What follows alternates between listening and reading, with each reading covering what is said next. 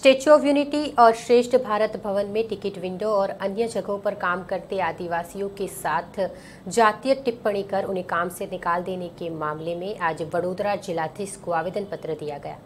वडोदरा शहर में तड़वी समाज के लोगों के द्वारा समस्त तड़वी समाज की ओर से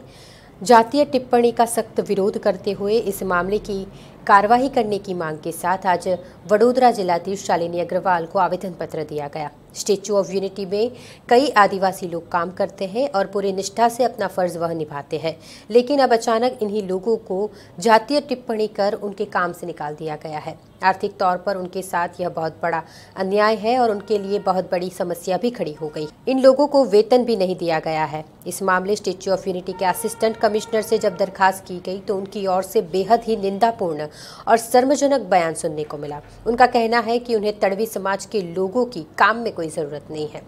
इस निंदापूर्ण और शर्मजनक बयान के लिए उन पर कानूनी कार्रवाई भी हो सकती है कानूनन उनका ऐसा कोई भी बयान गलत है इस मामले एट्रोसिटी एक्ट के तहत शिकायत भी दर्ज हो सकती है आज इसी मामले को लेकर तड़वी समाज के लोगों के द्वारा शहर जिलाधीश को आवेदन पत्र दिया गया અમારી અમે બવાડા શહેરમાંથી જ આવેલા છે અને અમારે આદિવાસી સમાજના વિરુદ્ધમાં એક જાતીય ટિપ્પણી થયેલ છે એની બાબતમાં અમે કલેક્ટરશ્રીને આવેદનપત્ર માટે આપવા માટે આવેલા છે એમાં એવું છે કે ગુ- અ, Narmada Narmada dam Narmada Sarovar Statue of Unity આ ત્રણ પ્રોજેક્ટ ગુજરાત રાજ્યમાં આવેલા છે જેના લીધે એમના આખું ગુજરાત અને આખું કચ્છ હમણાં લીલુંછમ રહે છે લીલુંછમ રહેલું છે અને એની ઉપર હમણાં સાબરમતીના સાબરમતીમાં બી નર્મદાનું પાણી જઈ જઈ રહ્યું છે અને એના લીધે એમના રિવરફ્રન્ટ બી ત્યાં ચાલુ છે અને તેના લીધે સારી કમાણી બી થઈ રહી છે એમના સ્ટેચ્યુ ઓફ યુનિટી બની છે એના લીધે ગુજરાતમાં હમણાં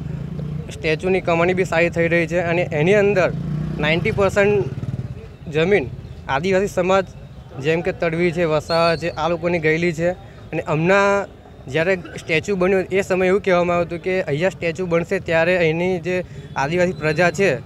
એમને અહીંયા રોજગારી મળશે બરાબર પણ હમણાં એવું થઈ રહ્યું છે કે ત્યાં રોજગારી માટે જે છોકરાઓ હતા એ લોકોને કોઈ પણ નોટિસ આપ્યા વગર ત્યાંથી એમને છૂટા કરવામાં આવેલા છે અને જાતીય ટિપ્પણી કરેલ છે કે અમારા આદિ અ, સમાજની જ્ઞાતિની કોઈ જરૂર નથી. એના બાબતમાં અમે અહીંયા વડોદરા કલેક્ટરશ્રીને અમે આવેદનપત્ર આપવા માટે આવ્યા.